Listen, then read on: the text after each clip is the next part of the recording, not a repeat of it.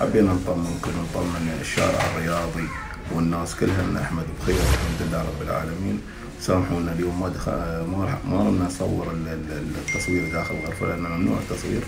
والحمد لله نطمنكم ان احمد بخير الحمد لله رب العالمين. ودعواتكم له